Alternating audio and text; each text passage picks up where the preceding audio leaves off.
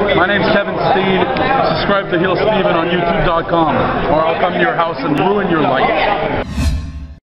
Hey guys, what is up? It is I, your boy Heel, back at it again with a new video. So big breaking news came out today from JBL. Turns out JBL will be stepping away from his weekly announcing duties over at SmackDown Live. Today on Twitter, JBL wrote the following in quote, After much consideration, I will be stepping back my weekly role as SmackDown announcer to dedicate more continuous time on the work I have done since 2010 with at-risk kids and communities. My new schedule will allow me to continue to be part of the WWE family and also continue my work that I feel is the most important thing in my life. He also adds on by saying, and quote, I will continue my 20 plus year relationship with WWE and will appear on such marquee shows as Tribute to the Troops, WrestleMania, amongst others.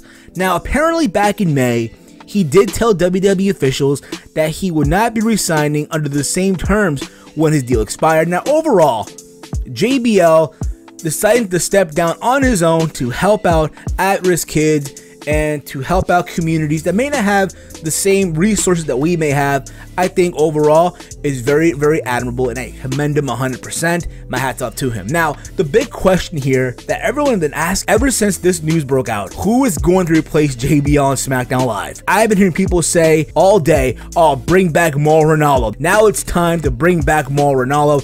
And to be honest with you guys, I think Mauro Ranallo is sitting nice and tight over there on NXT with Nigel McGuinness and Percy Watson. Besides, I really don't think Vince would really want Mauro back on the blue brand. I always felt that their plan on SmackDown Live was to always make Tom Phillips the head play-by-play announcer on SmackDown Live. I think that would be the plan still going forward. If it was up to me, believe it or not, I would have a two-person team. In this case, Byron Saxton and Tom Phillips. That's just me, of course. If they really want to add a third person, why not add Renee Young?